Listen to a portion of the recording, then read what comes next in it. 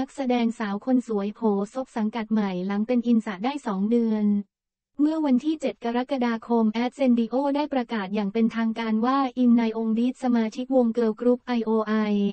และ PRISTIN Idol ที่ผันตัวมาเป็นนักแสดงได้เซ็นสัญญาพิเศษกับต้นสังกัดหลังจากแยกทางกับ Sublime Artist Agency เมื่อต้นปีนี้ เรามีความยินดีเป็นอย่างยิ่งที่ได้ลิง นายองค์ผู้ซึ่งมีเสน่ห์เป็นพิเศษและมีศักยภาพสูง มาเป็นหนึ่งในนักแสดงในสังกัดแอดเซนดิโอกล่าว เราจะสนับสนุนลินในองค์อย่างเต็มที่เพื่อที่เธอจะได้ทำกิจกรรมในหลากหลายสาขาต่อไป เราขอให้คุณให้ความสนใจและสนับสนุนเธอต่อไป